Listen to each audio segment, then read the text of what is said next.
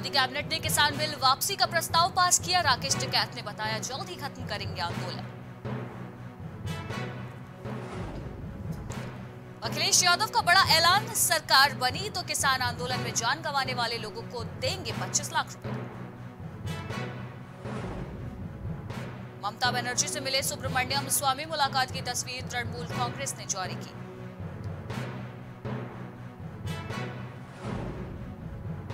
CRPF ने दी जानकारी, कश्मीर घाटी में अब तक 148 आतंकवादी मार गिराए गए।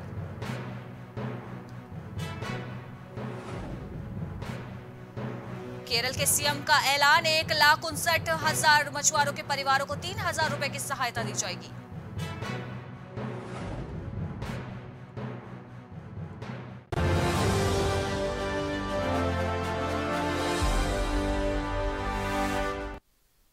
नमस्कार पहाड़ समाचार में आपका स्वागत है। मैं हूँ आपके साथ अनुष्का सिंह। जैसे जैसे चुनाव का समय नज़दीक आता जा रहा है वैसे वैसे सभी राजनीतिक पार्टियाँ सक्रिय हो गई है। प्रदेश में जगह जगह सभी राजनीतिक पार्टियों के द्वारा चुनावी बिगुल फूक दिया गया है। इसी कड़ी में रुड़की के झबरेड़ा में वरिष्ठ कांग्रेसी नेता वीरेंद्र जाति ने मेरा बूथ, मेरा गौरव कार्यक्रम का आयोजन किया, जिसमें क्षेत्र के हर बूथ से लोग पहुँचे और 2022 के चुनाव के मद्देनजर कार्यकर्ताओं को बूथ को सफल बनाने की जानकारी दी गई। वहीं इस मौके पर वरिष्ठ कांग्रेसी नेता वीरेंद्र ज्योति ने कहा कि हम हर बूथ पर कार्यकर्ताओं की तरफ़ से अपनी पकड़ को मज़बूत कर रहे हैं, जैसे 2022 के चुनाव में उत्तराखंड में पूर्ण बहुमत से कांग्रेस की सरकार बनने जा रही है। वहीं उन्होंने बताया कि कांग्रेस में कोई गुटबाजी नहीं है और अगर कहीं थोड़ा मनमुटाव है भी तो उसे चुनाव आने तक दूर कर लिया जाएगा।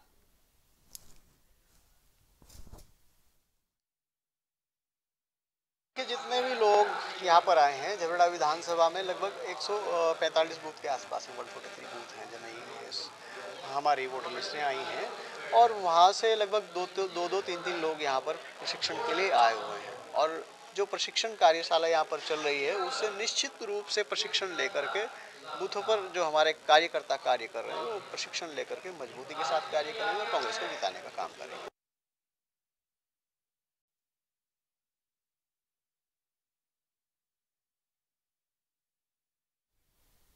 बाजपुर के विधानसभा क्षेत्र के ग्राम हजीरा के प्राथमिक विद्यालय प्रांगण का बहुत बुरा हाल है। आपको बता दें कि सोजल मिशन के अंतर्गत जल संस्थान की तरफ़ से बोरिंग कराई गई थी, जिसका पानी ओवरफ्लो हो जाने के कारण विद्यालय के प्रांगण में पानी भरा हुआ है, जिसमें ठेकेदार की तरफ़ से उस हैंडपंप को सही कराए जाने को लेकर फ्लैच लगाया गया था, लेकिन काम के शुरू होते ही अराजक तत्वों ने वहाँ पर हंगामा किया और उसे तोड़ दिया, जिससे पानी की बर्बादी भी हो रही है। साथ ही स्कूल के प्रांगण में जल भराव से बच्चों को आवागमन आवागमन में भी काफ़ी दिक्कतों का सामना करना पड़ रहा है। और आलम यह हो गया है कि सर्दियों के मौसम में बच्चे बाहर बैठकर अपनी शिक्षा ग्रहण करने को मजबूर है। इस उत्पन्न समस्या से कई बीमारियों भी दस्तक देती दिखाई दे रही है। वही मरे हुए मच्छर भी इसमें साफ़ तौर पर दिखाई दे रहे हैं। अभी मेरे ज्ञान में आया है कि हमारे हजीरा जो प्राइमरी जूनियर एग्ज़ाम कैंपस में है वहाँ जो है ग्रामीणों द्वारा, ग्रामीण से ज़्यादा अराजक तत्व कहना होगा, उनके द्वारा विद्यालय परिसर की चार दीवारी को नुकसान पहुँचाया जा रहा है। जिसके लिए जो स्थानीय जनप्रतिनिधि, उनसे भी संपर्क किया जा रहा है विभागों से भी संपर्क किया जा रहा है कि वो जो भी अवांछित तत्व अगर विद्यालय परिसर के आसपास नज़र आते हैं तो उनके बारे में थोड़ा सा उन्हें दूर रखें विद्यालय से और हमें समय से इन्फॉर्म कर दें, ताकि प्रशासन को इसके बारे में इन्फॉर्म कर सकें। साथ ही जो पानी वाली आपने बताई परेशानी की, वहाँ जल भराव की स्थिति हो रही है तो वहाँ जो जल जीवन मिशन के अंतर्गत वहाँ एक नया कनेक्शन जो था रिवोर होना था तो उसमें शायद अभी पूरा काम हो नहीं पाया है और उसके जो कॉन्ट्रेक्टर हैं, विद्यालय का कहना है उनसे संपर्क किया जा रहा है। तो जल संस्थान से भी उसके माध्यम से संपर्क करते हैं कि जल्द से जल्द कहें, जिससे बच्चों के स्वास्थ्य पर भी कोई नुकसान न पहुँचे और विद्यालय की जो परिसर की स्वच्छता है और सुरक्षा बच्चों की प्रभावित ना हो, कोशिश की जा रही है और इस कार्य में हम चाहेंगे कि पुलिस से भी सब। वहीं पिरान कालिया के ग्राम मुरादपुर में पानी की समस्या हो रही है, जहाँ पानी की निकासी को लेकर ग्रामीणों में भारी आक्रोश है। ग्रामीणों का कहना है कि गाँव की इस समस्या को लगभग दो से तीन साल हो गए हैं, लेकिन किसी भी जनप्रतिनिधि या विधायक की आँख यहाँ पर नहीं खोलती दिखाई दे रही है। और ग्रामीणों का कहना है कि जैसे जैसे बरसात आती है, ग्रामीणों की समस्या इसी प्रकार से बढ़ जाती है। गाँव के रास्ते में करीब तीन से चार फीट पानी भर जाता है, जिससे निकलना ग्रामीणों को बहुत ही मुश्किल हो जाता है। और हर समय यहाँ पर गंदे पानी का जमावड़ा रहता है। नौसाद अली आपके साथ। आज बात करते हैं विधानसभा पिरान के ग्राम मुलदासपुर की। यहाँ के जो ग्राम है, उसकी हालत बहुत खस्ता हुई है। रास्ते को देखते हुए आपको दिखा सकते हैं यहाँ पर रास्ता कितना गंभीर हालत में है। और जैसे कोरोना काल के चलते हुए डेंगू वगैरह बीमारी चलती है। और यहाँ के जो ग्रामवासी है, सब जो यहाँ के ग्रामवासी है, वो इकट्ठा होकर आक्रोशित है। उन्होंने जगह जगह पर एसडीएम को भी ज्ञापन सौंप दिया है। आज उनसे बात करते हैं कहाँ कहाँ पे गए कहाँ से गुहार लगाइए यहाँ के जो जनप्रतिनिधि है उन तक पहुँचे हैं या नहीं? जी बताइए। सबसे पहले मैं आपके चैनल धन्यवाद करता हूँ। आप हमारे यहाँ पे विज़िट के लिए आए। तो जैसे कि आप देखा ही है यहाँ पे कंडीशन क्या चाहिए? इस हिसाब से हम एस डी साहब और जिला पंचायत अध्यक्ष सबके माध्यम से सब भेज रखा है। ज्ञापन का कोई भी निराकरण नहीं हो पाया है। आइए इनसे बात करते हैं। जी जो आप यहाँ पे इकट्ठा हुए हैं क्या मामला है? ये सड़क देख रहे हैं आप? इसमें पानी भरा हुआ कितने गड्ढे हो रहे हो? कोई ना कोई आ रहा हो रोज गिरता रहो। आ गए। तो यहाँ पर तो जो बरसात होती है उसमें तो काफ़ी पानी का दिक्कत रहता है। बहुत बुरा हाल है यहाँ से तो। बहुत बुरा हाल है। कोई भी सुनने को तैयार नहीं है यहाँ। सबसे गुहार लगाए थे तो यहाँ के मौजूदा विधायक है क्या आपने उनसे बात की? विधायक जी को कई बार फ़ोन किया हमने तो। हाँ आवेंगे आऊँगे करेंगे करेंगे। आज तक तो हुआ नहीं है। तो अब क्या चाहते हैं आप? ये ये गड्ढे जो है रहे भर जाओ, और क्या जा रहे हैं? हम इसका पानी की निकासी हो, पहली बात है। परमानेंट इसकी निकासी होनी चाहिए कहने के लिए। ऐसे नहीं काम चलने का। अब रोज यहाँ भरा पहले वहाँ भर रहा था स्कूल का सामना। हमारा रोड ऊँची उठ गई, अब यहाँ से आगे भरने लगा, फ़ायदा क्या है?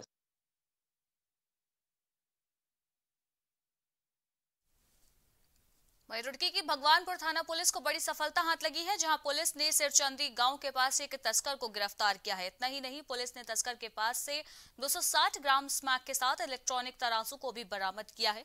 पुलिस ने बता दें कि आरोपी के खिलाफ फ़िलहाल मुकदमा दर्ज कर लिया है। पुलिस की गिरफ्तारी में आने के बाद तस्कर ने कई और भी खुलासे किए हैं और अब पुलिस तस्कर पर बड़ी कार्रवाई करने की तैयारी में जुटी है। में लगातार जो कार्य कर रही है, उस परिप्रेक्ष्य में कल भगवानपुर थाना पुलिस द्वारा एक व्यक्ति के से करीब 260 ग्राम स्मैक की प्राप्ति हुई है। पहले भी ये लगातार इस तरीके के उसमें इसकी सूचनाएँ हमें मिल रही थी। पुलिस इस पर लगातार लगी हुई थी। कल एक बाहरी खेप के साथ इसको पकड़ा गया है। इसके खिलाफ मैं बहुत ज़्यादा तो मैं नहीं कहूँगा, लेकिन हाँ एक ह्यूज क्वांटिटी हम लोगों ने इसमें पकड़ी है। और इसके जो वेराबाउट्स हैं, ये कहाँ से लेके आया है और कहाँ इसके, कहाँ इसको मारना था, किन लोगों को, उन लोगों को हम लोग पता लगा रहे हैं और उनके खिलाफ भी हम लोग जो भी वैधानिक कार्रवाई होगी, वो करेंगे।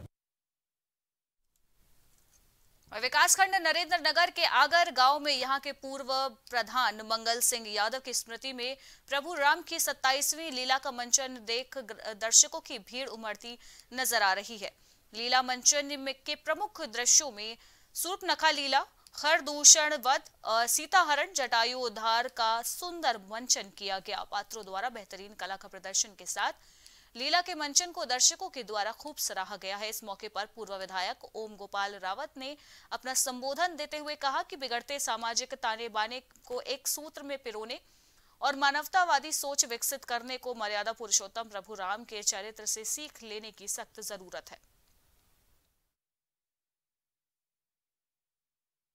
संस्कृति प्रेमियों को अपनी माता बहनों को इस क्षेत्र की समस्त जनता को भी धन्यवाद देता हूँ कि वो अपनी संस्कृति को बचाने के लिए इतनी ठंड के मौसम में क्योंकि अभी ठंड का मौसम ज़्यादा हो गया लेकिन इतनी बड़ी तादाद में वो फिर भी जो है अपनी संस्कृति को बचाने के लिए यहाँ पे रामलीला मंच में उपस्थित हुए हैं। मैं प्रणाम करता हूँ उनको धन्यवाद देता हूँ और आगे भी जो है वो हमेशा अपनी संस्कृति को बचाने के लिए ऐसे प्रोग्रामों को करते रहेंगे। पुनः रामलीला कमेटी का बहुत बहुत आभार, धन्यवाद, नमन, अभिनंदन। आज हमारे यहाँ कोरोना काल के बाद दोबारा से रामलीला का मंचन हुआ है और मुझे बड़ा गर्व है कि रामलीला कमेटी ने हमारी इस पुरानी संस्कृति को जीवित रखा है।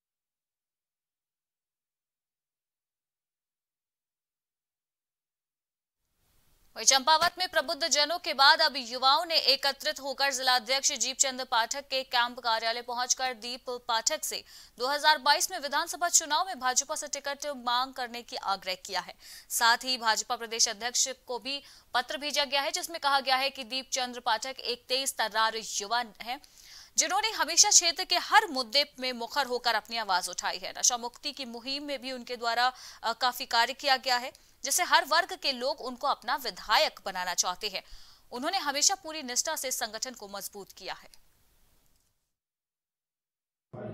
मैं उनकी भावनाओं की कदर करता हूँ और उनका हृदय तल से सादर आभार व्यक्त करता हूँ, परंतु मैं भारतीय जनता पार्टी का एक कार्यकर्ता और एक जिलाध्यक्ष होने के नाते उनकी भावनाओं का कदर करता हूँ।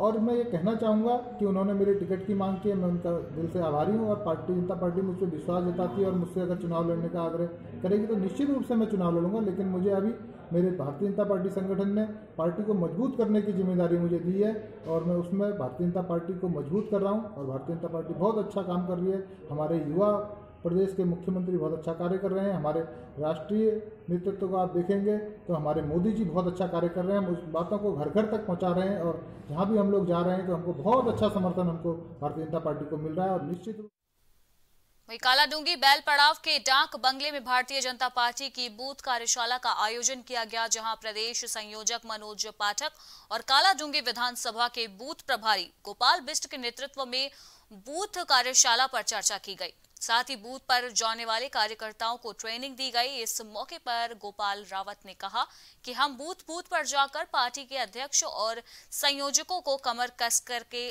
आगामी चुनाव के लिए तैयार होने को दिशा निर्देशित करेंगे। बूथ पर बैठकर भारतीय जनता पार्टी के कार्यकर्ता एक बार फिर पुनरीक्षण करेंगे और पन्ना प्रमुख के साथ साथ पन्ना टोली बनाएँगे। इसकी कार्य योजना यहाँ पर बनाई गई। इसके लिए बूथ पर जाने वाले कार्यकर्ताओं को ट्रेनिंग दी गई और ट्रेनिंग बहुत सकारात्मक रही। 25 तारीख को हमारे सारे इस बैल बहादुराबाद के शांतर शाह चौकी क्षेत्र में रात के अंधेरे में अवैध खनन का खेल चल रहा है। खनन माफियाओं ने लोगों का जीना मुश्किल कर दिया है। आपको बता दें कि माफियाओं ने रात के अंधेरे में रतमऊ नदी और उससे लगे लोगों की ज़मीन से बड़े पैमाने पर मिट्टी उठा ली है और खेतों में उगाई जा रही साग सब्जियों की फ़सलों को भी बर्बाद कर दिया है। वहीं गुस्साए किसानों ने रोड जाम कर दी। वहीं स्थानीय लोगों का कहना है कि क्षेत्रीय लेखपाल और वन विभाग की टीम मौके पर कई बार आई और तीन तीन कार्य वाहक तंत्रों को शिकायत करने के बाद भी अब तक इस पूरे मामले पर कोई भी कार्रवाई नहीं की गई।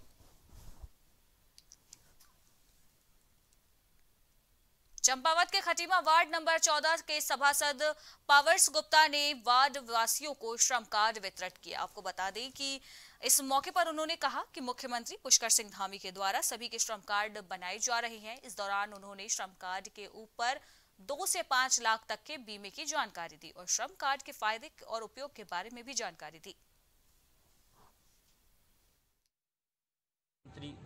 श्रीमान पुष्कर सिंह धामी जी के एक योजना श्रम विभाग की चलाई थी, जिसमें आज हमारे वार्ड नंबर चौदह के करीब चालीस परिवारों को श्रम कार्ड का बनाया गया। और श्रम कार्ड के बारे में माननीय मुख्यमंत्री जी की योजना चलाई गई है कि जैसे आम इनका, सभी जिनके श्रम विभाग बने हैं, कार्ड बने हैं, उनको पाँच लाख तक का, दो लाख से लेकर पाँच लाख तक का कभी ऐसी बात हो जाती है, कोई दुर्घटना घट जाती है, कोई तो उसके लिए उनको पाँच लाख रुपए तक का श्रम विभाग माननीय मुख्यमंत्री योजना के तहत मिलेंगे।